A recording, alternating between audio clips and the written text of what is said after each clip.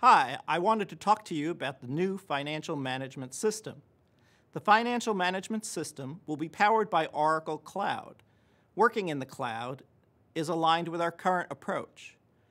Also working in the cloud allows us to remain current with system modifications made by Oracle.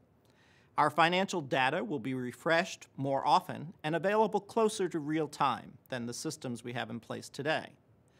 As we use the new system more and more, we will rely less on financial management reports and systems we use today.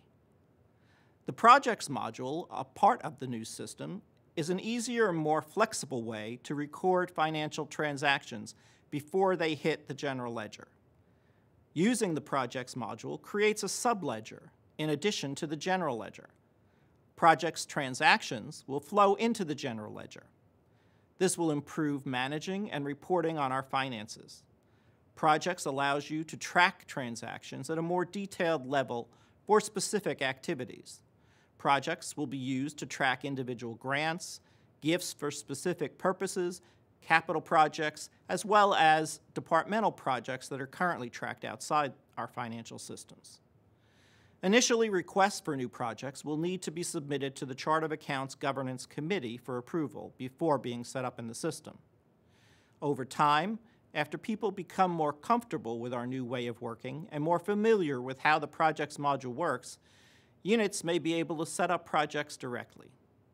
I am excited to have Grants module as a part of the new financial system. The Grants module provides easy-to-use tools for, to help faculty manage their finances. This includes viewing budgets, grant activities, and balances in order to make more strategic portfolio decisions. The new chart of accounts will improve our ability to access, manage, analyze, and report on data. Developing a chart of accounts that integrates segments for all schools, departments, and units while increasing access and transparency to the data empowers the units to take more direct ownership of the decision-making tools to manage budgets. More chart of accounts segments means better access to data that is more up to date. The ability to isolate key information by drilling down to levels we previously could not. And having analytical abilities to improve our internal and external reporting needs. More information and resources on the financial management system are available on Cornerstone browse the website and contact us with your questions, suggestions, and feedback. Thank you.